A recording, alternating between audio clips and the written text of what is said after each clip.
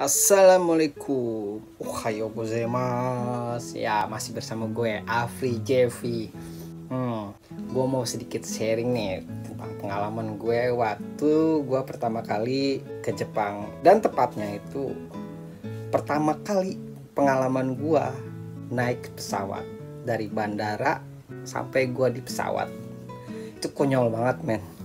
Pas lagi di bandara Soekarno-Hatta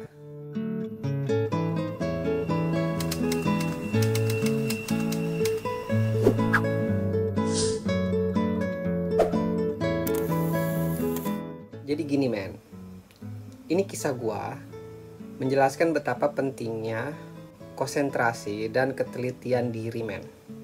Juga budayakan membaca men dan mengecek segala sesuatu sebelum kita berpergian.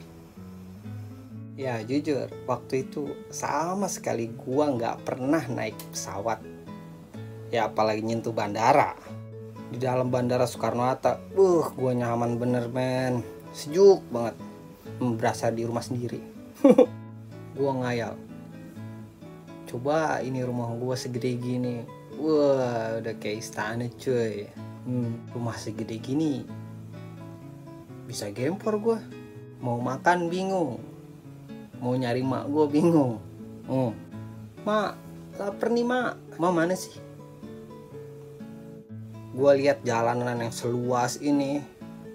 Ya ini masih di dalam khayalan gue ya ya kalau ya kalau seluas ini gimana gue nyari mak gue sedangkan gue di terminal satu mungkin mak gue lagi masak no di terminal tiga. Jauh bener. Jauh amat ya. Ya sulit jadi orang mudik kayak gue ya bisa berangkat ke Jepang aja udah gimana ya? Sombong. Ya bisa dapat kesempatan pergi ke Jepang ya kayak gimana ya? Kayak gue lagi tidur sambil jalan atau emang gue di jalan ketiduran? Ya sudahlah. Misi gue cuma satu men. Gue terbang ke Jepang nyampe dengan selamat dan ketemu si pacar gue ini yang orang Jepang. Dan gue harus ketemu men. Ini misi yang sangat berat. Hmm. Mungkin seberat doi kan hmm, gue orang yang nggak tahu apa-apa polos mampus. Aku di mana? Aku siapa? Orang yang cuma bisa celingak celinguk. Harus nyampe ke Jepang. Hayo gimana caranya? Nah ini pas di Bandara Soekarno Hatta ya. Gue megang tiket elektronik yang gue print. Terus katanya yang katanya ditukerin ke locator penerbangannya. Apa itu prosesnya ya? Ya udah sih. Ya udahlah gue jalan aja Bismillah. Ada locator depan gue nggak pakai lama gue tanya mbak saya mau nuker ini. Terus mbaknya nanya iya mas mau nuker apa? Loh gue heran. Kok si mbaknya balik nanya ya ini mbak saya mau nuker ini kertas. Mbaknya nanya oke mas uh, kita bisa cek itu apa? Ah ternyata gue nggak salah tempat. Sip mbak. Ini loh mbak. Mbaknya malah senyum. Lah gue bingung. Mbaknya kok senyum? Wah salah lagi nih gue Terus gue tanya, Mbak, kok senyum sih? Saya jadi takut. Terus mbaknya bilang gini men, Mas, Mas penerbangan ke Narita ya? Lah, Narita, Tokyo. Narita, Tokyo. Ah, uh, tapi mbak, saya penerbangan ke Jepang loh mbak si mbaknya sama mas-mas ada di sampingnya itu cekikikan terus mbaknya bilang iya masih mau ke Jepang kan?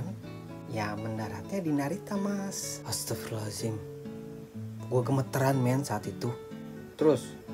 Ya gue nyangkal dong. Loh. Tapi mbak dan berusaha meyakinkan tapi mbak saya saya nggak transit kan? Saya itu mau ke Tokyo mbak. Terus mas-mas yang di sampingnya itu ngedeketin gua. Mas itu bilang gini mas mas jadi gini loh mas.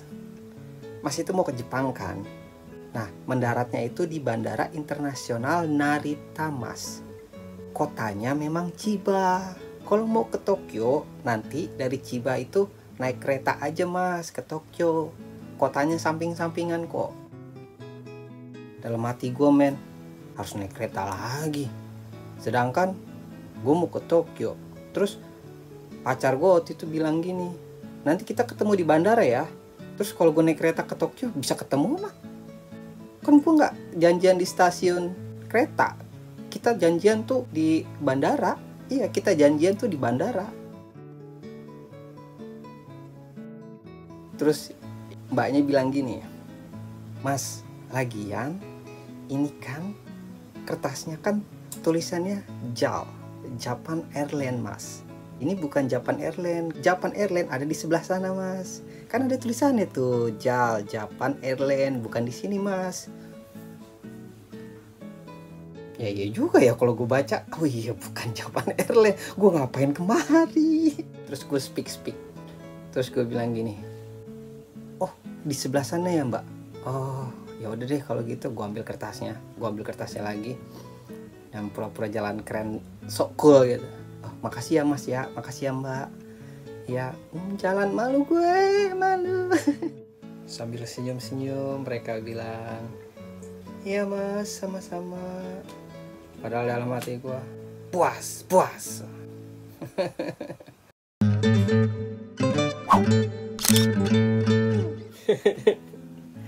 Langsung gue video call ke cewek gue terus gue ceritain kronologinya gue malah diomelin men. Apes bet cewek gue bilang gini ke gue ano sa? Narita te kaita desho sore wa kuko? Wakatta? Chanto yonde kudasai. Kan ada tulisannya narita. Itu tuh bandara. Please dong baca yang bener. Katanya gitu men mungkin dalam hati pacar gue bilang begini men. Ini si Afri udik apa emang akut sih? Tapi bener men. Budayakanlah membaca dan mengecek sesuatu sebelum kita pergi-pergian men. Jangan nanti jadi malu sendiri kayak gue. Ya alhamdulillah waktu itu lancar tuh ya gue udah nuker tiketnya terus gue tinggal jalan ke gate-nya. Gate nomor berapa ya waktu itu? Ya pokoknya jauh bet dah dari tempat pengecekan barang ke gate-nya itu. Hmm. saking takutnya gue nyasar ya men. Pokoknya setiap belokan nih bikin yang bikin gue bingung gue nanya men. Mas mas mas ini di mana ya? Terus kata masnya oh mas tinggal tinggal lurus aja ke sana nanti belok kanan oh di sana ya mas? Ya udah gue jalan tuh. Gue udah jalan gue bingung lagi men. Gue nanya lagi men. Mas oh di sana mas? Lah udah tahu dia. Gue gue mau nanya dia udah tahu. Ke sana. Nah, ya udah gue jalan dong sana. Wah pokoknya jauh banget tuh cuy. Yang tadinya gua ngayal wah ini kalau bandar aja di rumah gua mantep banget kali ya tapi capek men. Nggak ada tobat. Ah tobat. Yang ada nyasar mulu gua. Ya bla bla bla bla. Udah sampai nih ke gate yang gue tuju. Ya udah di situ udah udah udah udah kelihatan baris orang baris ngantri. Udah gue ikut ngantri dong. Pokoknya ada antrian sedikit. Oh ini ya antrian sedikit nih lebih cepet nih. Udah gue ngantri pas cek tiket sama paspor itu si mbak mbaknya kayak ngasih tahu ke mas mas sampingnya. Terus si mas masnya nyamperin gue men. Mas mas. Loh loh kenapa mas? Ada apa nih mas? Ada apa nih mas? Loh gue kaget tuh.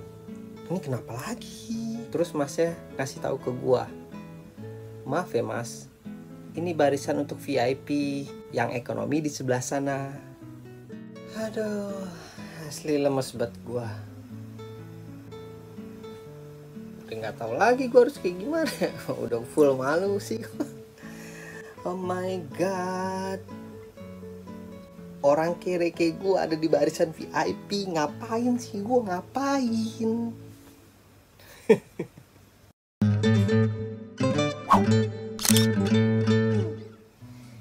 Gue capek mainnya ngemeng 10 menit Mungkin lebih dari 10 menit gue ngemeng ya.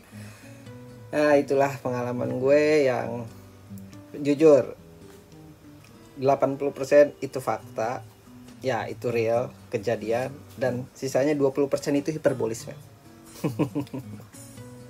video berikutnya aku masih terus ini tentang cerita gue ini. Pokoknya setelah cerita yang sekarang ini kan di Bandara Soekarno Hatta. Nah next to be continue. Hmm, pokoknya di pesawat dan di Bandara Narita.